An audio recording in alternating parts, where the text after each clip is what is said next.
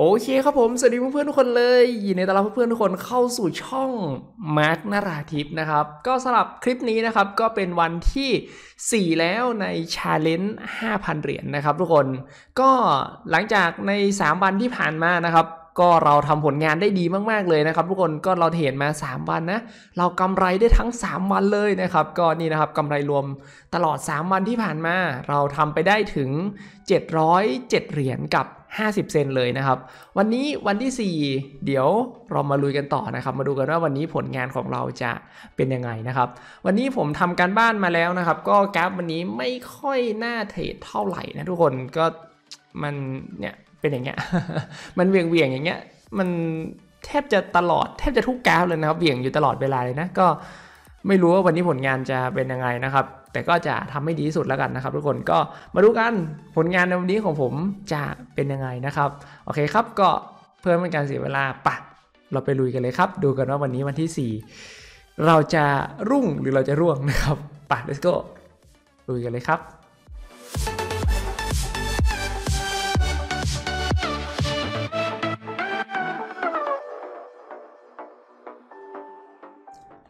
โอเคครับผมทุกคนตอนนี้ได้จุดเข้าสำหรับไม้ที่หนึ่งแล้วนะครับว่าผมเจ็บคอยังไงช่วงนี้รู้สึกเจ็บคอเหมือนจะเป็นหวัดนะครับทุกคนอะโอเคครับเหมือนเดิมนะทุกคนในทุกๆไม้ที่ผมเทรดผมจะสอนไปด้วยนะครับจะได้เป็นความรู้ให้กับเพื่อนๆนะครับ ก็สำหรับไม้ที่หนึ่งนี้นะครับเหตุผลที่ผมเลือกกดเทรดลงตรงนี้นะครับ เพราะว่านี่เลยนะครับอย่างแรกนะ ในภาพใหญ่กราฟวิ่งเป็นเทรนขาลงลงมา อย่างเห็นได้ชัดเจนเลยนะครับนี่นะ action วิ่งแต่ระดับต่ำลงเรื่อยๆ ชัดเจนเลยนะครับ แปลว่าแรงขายหรือว่าแรงที่ทำให้กราฟวิ่งลง ตอนนี้เนี่ยยังไงก็มีมากอยู่พอสมควรแน่นอนนั่นเองนะครับ แล้วก็ราคาปัจจุบันนี้เองอาในกราฟปัจจุบันนี้นะครับ ล่าสุดกลับตัวขึ้นมา แล้วก็เหมือนจะขึ้นมาสูงสุดแล้วนะครับ ทุกคนนะช่วงนี้นะนี่มันเริ่มนิ่งแล้วนะครับกราฟในช่วงนี้นะเหมือนติดแนวต้าน หรือว่าติดอะไรสักอย่างหนึ่งแล้วนะครับนี่ชัดเจนเลยนะครับ แล้วก็เริ่มปัจจุบันเนี่ยเริ่มกลับตัวลง อย่างเห็นได้ชัดเจนแล้วนะครับ ก็น่าจะกลับตัววิ่งลงตามภาพใหญ่ของเขาที่เป็นเทรนขาลงนั่นเองนะครับ แล้วเส้น sto ก็มาตัดลงในช่วงนี้ แล้วก็วิ่งไต่ระดับต่ำลงเรื่อยๆ พอดีด้วยนะครับ ก็เป็นอีกหนึ่งสัญญาณ confirm ว่าตอนนี้แรงขายหรือว่าแรงที่ทำให้กราฟวิ่งลง ก็น่าจะเริ่มเข้ามามีผลมากกับกราฟปัจจุบันนี้แล้ว น่าจะส่งให้กราฟปัจจุบันนี้กลับตัววิ่งลงมาได้แล้วนะครับ ก็ด้วยผลตามนี้นะ ผมก็เลยเลือกกด trade ลงนะตรงนี้ และผลลัพธ์ที่ได้ก็จบ ช้าณไปอย่างสวยงามเลยนะครับอู้วิลกูดมากนะครับ ก็ถือว่าเริ่มต้นได้สวยในวันที่กราฟไม่ค่อยสวยนะครับ ทุกคนอ่าก็เอ่อไม้แรกมาเราจบชนะมาได้สวยมากเลยนะครับ วิเคราะห์ได้ว่าแรงขายจะมีเยอะก็มีเยอะจริง ๆ นะครับ โอ้วิลกูดนะครับวิลกูดนะ โอเคครับ ตอนนี้ไม้แรกของเราเปิดมาสวยมากนะครับ เราจบชนะไปสวยงามนะ ก็ไป เดี๋ยวลุยกันต่อในไม้ที่สองนะครับ ไม้ที่สองก็เดี๋ยวได้จุดเข้าตรงไหน เรามาว่ากันอีกทีหนึ่งนะครับไปเดี๋ยวผมไปข้อกราฟแป๊บหนึ่งครับผม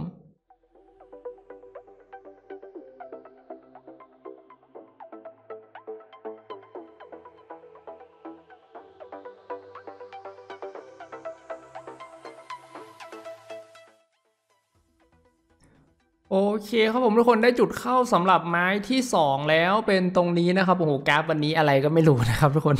หาจุดเข้าไม่เจอเลยนะมีแต่กราฟอะไรก็ไม่รู้เทรดไม่ได้นะครับ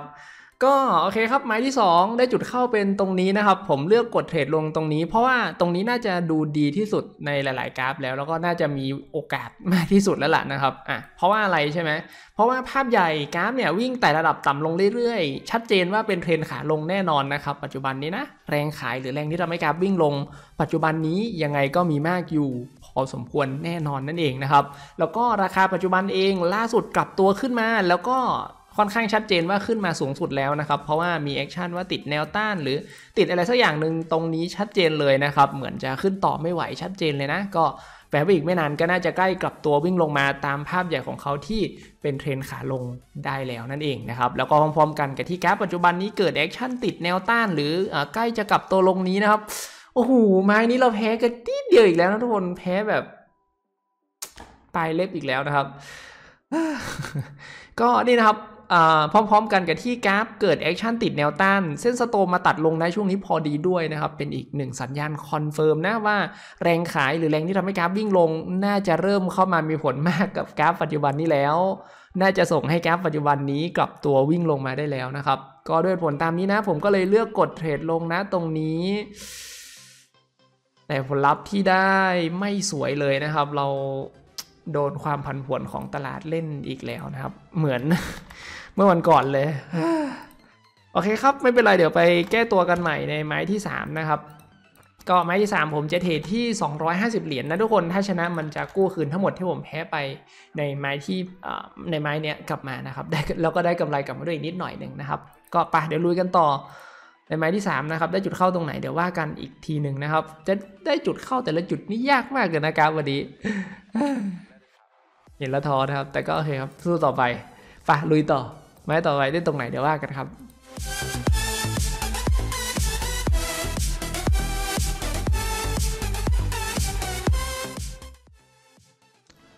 โอเคครับได้จุดเข้าสำหรับไม้ที่ 3 แล้วนะครับ ใช่ไหมใช่แล้วไม้ที่ 3 นะครับ ลงจำนวนไม้ตลอดเลยผม ก็ตรงนี้นะครับผมเลือกกดเทรดลงนะ เหตุผลที่เลือกกดเทรดลงตรงนี้นะครับที่จริงมันอยู่กราฟเดียวกันกับ ไม้เมื่อกี้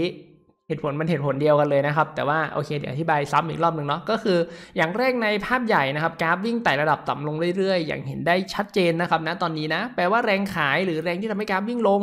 ปัจจุบันนี้ยังไงก็น่าจะมีมากอยู่ พอสมควรเลยนั่นเองนะครับ แล้วก็ action ปัจจุบันชัดเจนมากนะครับ ว่าเขาขึ้นต่อไม่ไหวแล้วนะ เห็นไหมฮะวิ่งขึ้นมาแล้วก็ติดแนวต้าน แล้วก็วิ่งนิ่งๆ อยู่ช่วงนี้อย่างเห็นได้ชัดเจนเลยนะครับอ่าก็แปลว่าอีกไม่นานก็น่าจะใกล้กลับตัววิ่งลงตามภาพใหญ่ของเขาที่เป็นเทรนขาลงได้แล้วนั่นเองนะครับแล้วก็พร้อมกันกับที่กราฟปัจจุบันนี้ เริ่มวิ่งขึ้นต่อไม่ไหว แล้วก็เหมือนกำลังใกล้จะกลับตัวลงนี้นะครับเส้น sto ก็มาตัดลงในช่วงนี้พอดีด้วย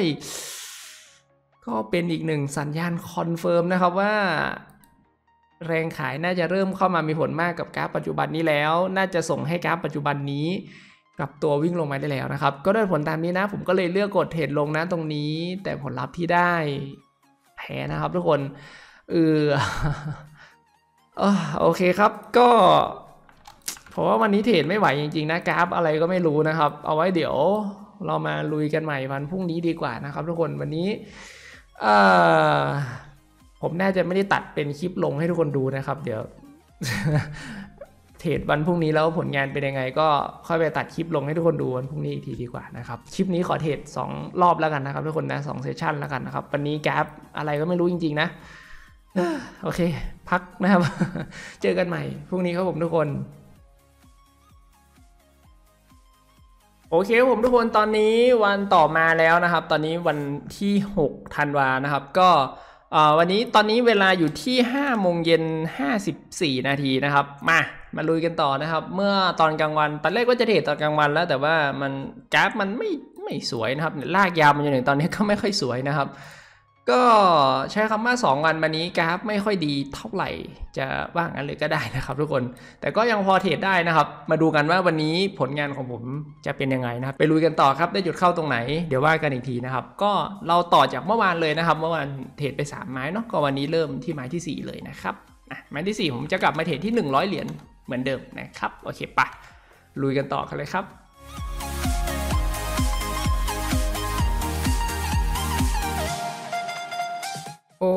คครับผมคิดว่าน่าจะได้จุดเข้าสำหรับไม้แรกของเราแล้วนะครับ เป็นตรงนี้นะครับ ทุกคนก็มีแนวต้านเก่าตรงนี้ที่ปัจจุบันน่าจะทำหน้าที่เป็นแนวรับใหม่แล้วนะครับ ทุกคนกราฟมันวิ่งมาติด เริ่มติดไม่ใช่วิ่งมาติดนะครับ เริ่มติดอย่างเห็นได้ชัดเจนนะณช่วงนี้นะครับ โอเคครับก็ ไม่ใช่ไม้ที่1สิไม้ที่ 4สิ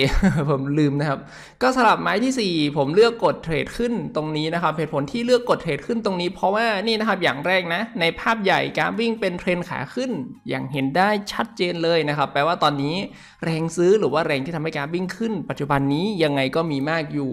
พอสมควรแน่นอนนั่นเองนะครับ แล้วก็ราคาปัจจุบันเองล่าสุดย่อตัวลงมาลึกมากพอสมควรแล้วด้วยนะครับ แล้วเขาก็ลงมาถึงจุดที่มันเป็นแนวต้านเก่านะครับ ซึ่งปัจจุบันก็ทำหน้าที่เป็นแนวรับใหม่เรียบร้อยแล้วนะครับกราฟเริ่มหยุดแล้วเมื่อวิ่งมาถึงแนวนี้นะครับทุกคนอะก็แปลว่าทั้งหมดที่กราฟกลับตัวลงมาตรงนี้ก็น่าจะลงมาได้ลึกสุดเท่านี้ แล้วก็หลังจากนี้น่าจะใกล้ช่วงกลับตัววิ่งขึ้น ได้แล้วนั่นเองนะครับแล้วก็พร้อมกันกับที่กราฟปัจจุบันนี้กำลังติดแนวรับ แล้วก็ใกล้จะกลับตัวขึ้นนี้นะครับ เส้น Sto ก็มาตัดขึ้นนะ ช่วงนี้พอดีด้วยก็เป็นอีกหนึ่งสัญญาณ confirm ว่าตอนนี้แรงซื้อหรือว่าแรงที่ทำให้กราฟวิ่งขึ้น ก็น่าจะเริ่มเข้ามามีผลมากกับกราฟปัจจุบันนี้แล้ว น่าจะส่งให้กราฟปัจจุบันนี้กลับตัววิ่งขึ้นไปได้แล้วนะครับก็ด้วยผลตามนี้นะ ผมก็เลยเลือกกดเทรดขึ้นนะ ตรงนี้แล้วก็ผลลัพธ์ที่ได้อย่างที่เห็นไปเลยนะครับ เราก็จบชา นะไปอย่างสวยงามเลยนะครับ แล้วก็กราฟนะช่วงนี้นะครับ ทุกคนโอ้โหกับตัวขึ้นสวยเลยนะครับ ทุกคนแรงซื้อเข้ารวดเดียวพุ่งกลับขึ้นไปแรงเลยนะครับโอ้ก็เริ่มต้นได้สวยสำหรับวันนี้นะครับ ทุกคนไปเดี๋ยวลุยกันต่อในไม้ที่ 5 นะครับ ได้จุดเข้าตรงไหน เดี๋ยวเรามาว่ากันอีกทีหนึ่งนะครับ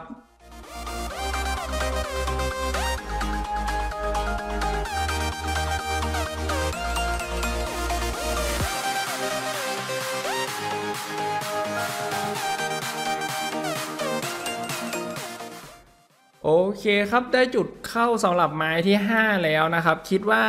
ไม้นี้น่าจะเป็นไม้สุดท้ายแล้วนะครับ ชนะก็หยุดแพ้ก็หยุดนะทุกคนกราฟวันนี้ค่อนข้างมีจุดเข้าน้อยนะครับ แล้วก็ผมไม่อยากจะไปมาติงเกลสู้กับกราฟวันนี้เท่าไหร่นะครับ ก็เลยเลือกที่จะเทรดไม้ใหญ่ทีเดียวไปเลยนะครับ ทุกคนแพ้ก็หยุดชนะก็หยุดน่าจะเป็นทางเลือกที่ดีกว่านะครับ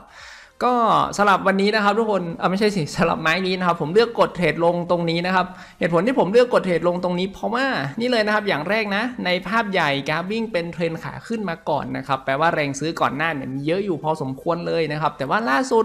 กราฟเนี่ยจบเทรนขาขึ้นแล้วก็กำลังเริ่มกลับตัวลงมาเป็นเทรนขาลงแล้วนะครับ ทุกคนเห็นไหมตรงนี้ EMA 50 มันตัด EMA 200 ลงมาแล้วนะครับ แปลว่าทั้งหมดนะตรงนี้แรงขายหรือแรงที่ทำให้กราฟวิ่งลง ก็น่าจะเริ่มเข้ามามีผลมากกว่า แล้วนั่นเองนะครับกราฟนะช่วงนี้ก็จะวิ่งลงหรือว่ากลับตัวลงได้ดีกว่าวิ่งขึ้น แล้วนั่นเองนะครับในช่วงนี้นะ แล้วก็ action ล่าสุดนะครับกราฟในภาพเล็กเนี่ยก็กลับตัววิ่งขึ้นไปสูงมาก แล้วก็เหมือนขึ้นต่อไม่ไหวติดแนวต้านหรือติดอะไรสักอย่างหนึ่งอย่างเห็นได้ชัดเจนแล้วนะครับในช่วงนี้นะก็แปลว่า หลังจากนี้ก็น่าจะขึ้นต่อไม่ไหว แล้วก็น่าจะใกล้กลับตัววิ่งลงมาได้แล้ว นั่นเองนะครับอ่านี่นะ action ในช่วงนี้นะครับ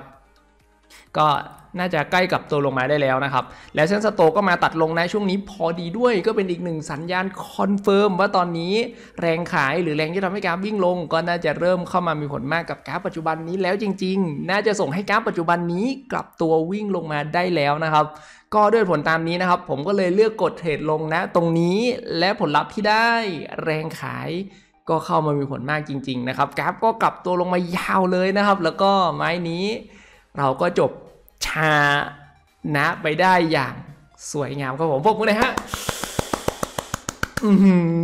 เป็นไม้ที่เอ๊ะผมรู้สึกภูมิใจกับไม้นี้มากนะ เอาจริงๆ คือกราฟแบบลงยาวเลยนะครับเราจะเข้าเทรดไปนะโอ้โห very good นะครับอะโอเคครับก็ถือว่าเป็นไม้ที่จบได้สวยนะครับ โอเคครับ แต่ว่าเดี๋ยวก่อนเราจะไปสรุปไม้ที่ 5 นี้กันนะครับ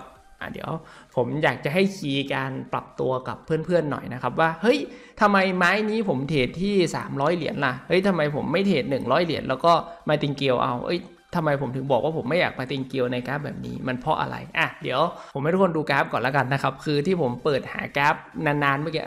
เพื่อนๆ น่าจะเห็นเป็นสปีดคลิปมาแล้วนะครับ ที่เพื่อนๆ เห็นผมเปิดกราฟนานๆเลยแล้วก็ไม่ได้จุดเข้าสักทีเนี่ยเฮ้ยมันเพราะอะไรนะครับอะเดี๋ยวดูกันนะครับว่ากราฟมันหน้าตาเป็นยังไงนะครับ แท้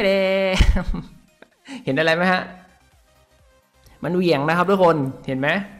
กราฟมันเหวี่ยง ความสามารถพิเศษในกราฟเหวี่ยงแบบนี้คืออะไรจำได้ไหม คือกราฟมันจะมีความผันผวนสูงนะ มันจะวิ่งซอกแซกไปมาได้ง่ายนะครับ วิ่งสเปะสปะไปมาได้ง่ายนะ มันทำให้ออเดอร์ของเรา มันแพ้ได้ง่ายมากๆนะครับ มันไม่ได้แพ้เพราะว่าเราวิเคราะห์ผิดหรือวิเคราะห์พลาดนะครับ บางทีเราวิเคราะห์ถูกแล้วแหละแต่มันคือความผันผวนนะมันเพราะความผันผวน นั่นเองนะครับ อ่า เก็ตไหม ซึ่งถ้าผมเทรดไม้ละหนึ่งร้อยเหรียญแล้วชนะ ผมได้กำไรเท่าไหร่ ผมได้ 80 เหรียญนะครับ ซึ่งในกรณีที่เทรดไม้ละ100 เหรียญแล้วชนะเนี่ย นี่มันคือดีมากเลยนะครับทุกคน ดีแบบดีมากๆเลยนะ เออ เทรดแล้วชนะได้ มันคือดีมาก แต่ถ้าสมมุติแพ้ขึ้นมาล่ะ เออ ไม้ต่อไปสมมุติต้องมาติงเกียวเทรด250 เหรียญ ถามว่าไม้ต่อไปถ้าชนะกลับมาได้คุ้มไหมกับการแบบนี้ สมมุติเราเทรดไม้ที่ 1 100 เหรียญแพ้นะครับ แพ้ แล้วก็ไปเทรดไม้ที่ 2 250 เหรียญชนะ ชนะได้กำไรคืนกลับมาประมาณ 200 เหรียญเอาไปแก้คืนเออเอาไปคืนที่เราแพ้ไปไม้ที่ 1 ก่อนหน้า 100 ก็เท่ากับเหลือกำไรเข้ากระเป๋า 100 มูลค่าการเทรดของเราตรงนี้นะครับ รวมทั้งสิ้นเนี่ย350 เหรียญเห็นไหมมูลค่าการลงทุนทั้งหมดนะครับแต่กำไรที่เราได้กลับมาจริง ๆ คือเท่าไหร่คือ 100 นะครับ คิดเป็นไม่ถึง 33.33%ของที่ลงทุนไปเลย เห็นไหมกำไรที่ได้ เห็นไหมเออสู้เราเทรดไม้เดียวไปเลยนะครับ แล้วถ้าชนะเนี่ยเราได้ ROI 80%ไปเลยเนี่ยอันนี้จะดีกว่านะครับทุกคนเออนี่เนาะได้ 80%ไปเลยอะอันนี้จะดีกว่านะครับอ่าก็มันจะคุ้มกับความผันผวนมากกว่า ถ้าเราเทรดชนะนั่นเองนะครับอ่าโอเคเนาะเออนี่เลยนะครับก็เป็น คีย์ว่า เอ้ยทำไมผมถึงปรับตัวในกราฟตรงนี้ว่า เอ้ย ไม่อยากมาติงเกียวนะครับ คือมันมีความผันผวนสูงนะครับ ทุกคน มาติงเกียวไปแล้วชนะกลับมา มันไม่คุ้มนะครับ ในกราฟแบบนี้นะ ถ้ามันวิ่งดีๆ ไม่เหวี่ยง เออ มาติงเกียวยังคุ้มอยู่นะครับ แต่อันนี้มันไม่คุ้มจริงๆนะ กราฟแบบนี้ โอกาสชนะมันน้อยนะครับ ชนะต่อครั้ง เราควรจะได้เยอะไปเลยดีกว่านะครับ ดีกว่าจะมาชนะน้อยแล้วก็กลายเป็นอะไรก็ไม่รู้นะครับทุกคน เออ ประมาณนั้นเนาะ อะ โอเค นี่เลยนะครับก็เป็นคีย์นะลองเอาไปปรับใช้กันดูนะครับทุกคนเวลาเจอกราฟเบี่ยงเนี่ยพยายามอย่าไปฝืนเทรดเลยกับมันมากนะครับ เราพยายามออกออเดอร์ให้น้อย แล้วก็ได้กำไรต่อครั้งให้เยอะที่สุดเท่าที่จะเป็นไปได้เลยจะดีกว่านั่นเองนะครับ อ่า นี่นะครับ อันนี้ก็เป็นคีย์การปรับตัวเนาะที่ผมอยากจะแชร์ให้กับเพื่อนๆกันนะครับ โอเคครับปะไปสรุปไม้ที่ 5 กันเลยนะครับ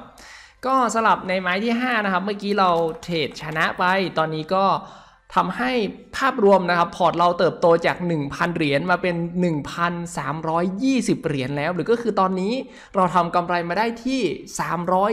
320 เหรียญแล้วนั่นเองนะครับอ่า very good มากนะครับสำหรับกำไรที่เราทำได้ในสองไม้ที่เราเทรดกันไปเมื่อกี้นั่นเองนะครับไม้ที่ 4 กับไม้ที่ 5 นะครับทุกคนอ่าโอเคครับก็ทำให้ภาพรวมตอนนี้นะครับทุกคนจากที่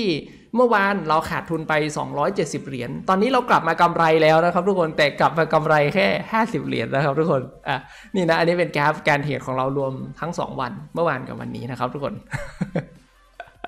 เลทะนะบอกเลยว่าเลทะนะครับผมว่านี่แหละเราทำดีที่สุดแล้วล่ะ ไม่น่าจะมีตรงไหนที่ตัดสินใจได้ดีกว่านี้แล้วนะครับ อ่า ประมาณนี้เนาะ อะ โอเค ก็ถือว่าแฮปปี้นะครับ วันนี้ได้จุดเข้า 2 จุดแต่ก็ โดยรวมกู้คืนที่แพ้ไปกลับมาได้ก็ถือว่ากูดนะครับ very good อะโอเคครับ ก็เดี๋ยวจดบันทึกแป๊บหนึ่งนะครับ ก็สำหรับ 320 เหรียญกำไรที่ผมทำได้ในวันนี้นะครับ ก็คิดเป็นเงินไทยอยู่ที่ประมาณ 11,258 บาทกับ 72 สตางค์นะครับ ก็ตีเป็นตัวเลขกลมๆที่ประมาณ 11,000 บาทแล้วกันนะครับ แล้วก็ถ้าไปหักลบกับก่อนหน้าที่ขาดทุนไป 270 เหรียญ มันจะกำไรเหลือแค่ 50 เหรียญนะครับทุกคน ซึ่ง 50 เหรียญนี้ก็คือประมาณพันเนะฮะ โอเค แต่เราไม่มองตรงนั้นนะ เรามองภาพรวมนะครับ ตอนนี้ภาพรวมก็อ่าโอเค ถือว่าพอเติบโตขึ้นนะครับ ถือว่าพอเติบโตขึ้น นี่นะครับ ต่อมาให้ดูภาพรวมการเติบโตของพอร์ตผมนะครับ ก็นี่นะ อันนี้เป็นกราฟภาพรวมการเติบโตนะครับ ก็ก่อนหน้านี้เนี่ยพอร์ตผมโตไปถึง 707 เหรียญนะครับ แล้วก็เมื่อวานขาดทุนมานะครับ ก็กำไรก็ลดลงมาเหลือ 437 เหรียญนะวันนี้ก็ชนะคืนกลับมาได้นะครับทุกคนก็กำไรรวมในพอร์ตก็ตอนนี้ก็เติบโตกลับมาเป็น 757 เหรียญนนะครับอ่านี่นะก็เติบโตมามากกว่าก่อนหน้า 50 เหรียญนนะครับนี่เนาะอ่าโอเคนะก็ถือว่าการเติบโตของพอร์ตเราก็เป็นบวกนะครับอย่างน้อยก็โตขึ้นเรื่อยๆ แม้วันนี้มันจะโตขึ้น 50 เหรียญก็ตามนะครับแต่ก็โตขึ้นนะฮะ โอเคครับก็นี่เลยนะครับเป็นผลงานการเทรดของผมในวันนี้นะครับ ทุกคนก็สำหรับในคลิปนี้ผมตั้งใจเทรดมากๆเลยนะครับ ก็ในทุกๆ จุดผมพยายามตัดสินใจให้มันดีที่สุด ในสภาวะตลาดที่มันเทรดยากแบบนี้นะ ผมพยายามตัดสินใจให้มันดีที่สุดในทุกจุดเลยนะครับ ก็หวังว่าทุกความรู้ที่ผมแชร์กับเพื่อนๆในวันนี้จะเป็นความรู้ดีๆ ที่มันช่วยให้การเทรดของเพื่อนๆทุกคนดีขึ้นนะครับ โอเคครับ ก็ก่อนจากลากันไปถ้าเพื่อนๆชอบคลิปนี้นะครับ ฝากเพื่อนๆกดไลค์เป็นกำลังใจให้กับผมหน่อยคนละ 1 ไลค์นะครับแล้วถ้าเพื่อนๆอยากจะติดตามคลิปใหม่ๆของผมอีก ฝากเพื่อนๆกด Subscribe แล้วก็กดกระดิ่งกันเอาไว้ด้วยนะครับ เวลาผม up คลิปใหม่ๆ เพื่อนๆจะได้ไม่พลาดกันนะครับ แล้วก็สำหรับเพื่อนๆคนไหนนะครับที่เห็นผมเทรดวันนี้แล้วก็สนใจอยากจะเข้ามาเทรดใน Olymp Trade นี้เหมือนกันกับผมดูบ้างนะครับอยากจะลองเข้ามาหารายได้เสริมใน Olymp Trade หรือว่าอยากจะเข้ามาเทรดเป็นอาชีพเหมือนกันกับผมเลยนะครับก็สามารถที่จะสมัครสมาชิก Olymp Trade ได้จากลิงก์ด้านล่างคลิปนี้เลยนะครับ ซึ่งถ้าเพื่อนๆสมัครผ่านลิงก์ของผมที่ผมแนบไปให้ด้านล่างคลิปนี้ เพื่อนๆจะได้สิทธิพิเศษได้เข้ามาในกลุ่มสอนเทรดของผมด้วยนะครับ อ่า นี่นะนี่นะครับผมมีกลุ่มสอนเทรดให้ด้วยนะครับ อะ ซึ่งกลุ่มก็จะชื่อว่า o l i m t r a d e by Mark นราทิพย์ทีมนะครับ เดี๋ยวผมจะแนบลิงก์กลุ่มนี้ไว้เพื่อนๆด้านล่างคลิปนี้ด้วยนะครับ ซึ่งในกลุ่มนี้นะครับผมก็จะมาแชร์ความรู้ดีๆ แล้วก็มา แชร์วิธีการหรือว่าเทคนิคหรือกลยุทธ์ต่างๆ ให้กับเพื่อนๆอยู่ตลอดทุกสัปดาห์สัปดาห์ละหนึ่งเรื่องนะครับทุกคนอะซึ่งสำหรับเพื่อนๆที่อยากจะเข้ามารับความรู้ดีๆตรงนี้กัน เพื่อเอาไว้ใช้พัฒนาการเทรดของเพื่อนให้ดีมากขึ้นไปอีก ก็สามารถที่จะเข้ากลุ่มกันมาได้นะครับอ่านี่นะครับ อันนี้เป็นสิทธิพิเศษที่ผมมอบให้กับ เพื่อนๆทุกคนกันนะครับอ่าโอเคครับผมก็ขอบคุณเพื่อนๆทุกคนมากๆเลย ที่ติดตามรับชมกันในคลิปนี้นะครับ ก็ขอตัวลาไปก่อนแล้วเดี๋ยวเจอกันใหม่ในคลิปต่อไปครับผมสำหรับคลิปนี้ผมหวังว่ามันจะเป็นอีกหนึ่งคลิปดีๆ ที่เปิดโอกาสให้เพื่อนๆได้รู้จักกับโลกใบใหม่ โลกของการเทรดนะครับ